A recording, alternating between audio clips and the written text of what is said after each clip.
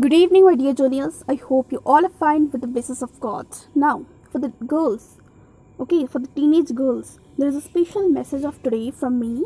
Yes, I tried it to make a video, but you know, there was a there was a problem in voice. If I'm making video, then the voice is not clearly coming. So I'm giving you the informations via this recording. But yeah, it will reach to you ये आप तक पहुंच जाए ये ज़्यादा ज़रूरी है you know video and audio वो ज़्यादा इंपॉर्टेंट नहीं है। सो so, ध्यान से मेरी बातों को सुनो। ठीक है? The body which you have जो जो सुंदरता हो जैसा भी हो whatever you are carrying whatever you you have उस पर सबसे ज़्यादा हक पता है किसका है? उस पर सबसे ज़्यादा हक आपके पेरेंट्स का है। और उसमें पेरेंट्स में भी there is a mother and father तो उसमें भी आपकी मदर का है। बिकॉज़ आपका पूरा जो शरीर का फॉर्मेशन हुआ है वो फॉर्मेशन आपके मदर की वजह से ही हुआ है। Every day she she sacrifice something one she become one she got a news that you are coming in this world जब, जिस दिन से उन्हें ये पता चलता है कि you are coming in this world that she is pregnant उस दिन से लेकर के जब तक आपकी बर्थ नहीं हो जाती है, तब तक मैं, तब तक मैं every day every day from the first day to the वो वो दिन टू दैट डे जब आप डिलीवर होते हो। हर दिन वो आपकी जो ग्रोथ है उसको फिल करती है।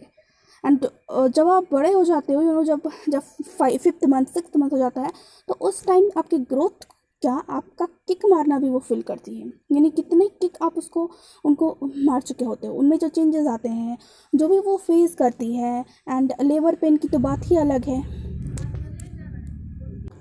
So labour pain again a lot of bleeding and आपका बर्थ हो सके इस वजह से एक god gifted phenomena god gifted phenomena menstrual cycle जो आपके बर्थ के कितने पहले से, कितने पहले से ही वो हर महीना फेस करती थी, हर महीना वो पेन उन्होंने टॉलरेट किया जस्ट बिकॉज़ वो आपको बर्थ दे सके because without that a women can not bear child okay so इतने सारे सेक्रीफाइस के बाद में एक बच्चा का जन्म होता है, एक माँ का इतना बड़ा सेक्रीफाइस रहता है उसमें।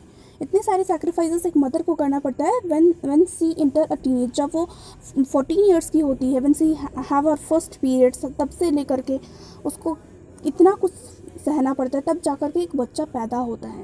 एंड दैट इज़ यू आप हो वो बच्चा, है ना? आपका पूरा बॉडी उनके उस सेक्रीफाइस से बना है। एंड उस बॉडी को आप किसी भी मेल को मिसयूज़ मत करने देना, क्योंकि उस बॉडी पे सबसे ज़्यादा हक आपकी माँ का है। आपका भी उस पर हक कम है। So don't let any male to satisfy his male ego by your body parts कभी भी नहीं। और तब तो बिल्कुल नहीं if he is not your husband if he is only boyfriend कभी भी नहीं। सो so, लगता होगा आप लोगों को ये बहुत कैजुअल बहुत कॉमन बट या एक लड़का दस रुपया के डायरी मिल्क दे करके बहुत कुछ ले लेता है। एंड एक बार, एक बात हमेशा सोचना, वो दस रुपया का डेयरी मिल्क या जो गिफ्ट्स वो दे रहा है या जो सो कॉल्ड फेक लव वो दे रहा है